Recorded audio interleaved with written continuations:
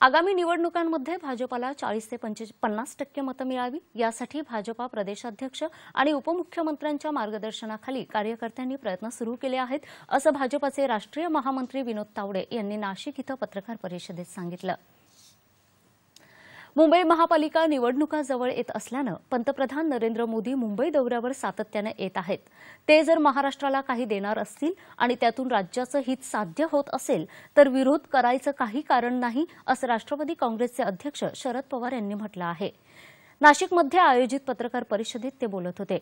आगामी निवडणुकीच्या काळात राष्ट्रवादीत फेरबदल होणार नसल्याचं पवार यांनी बोलताना स्पष्ट केलं.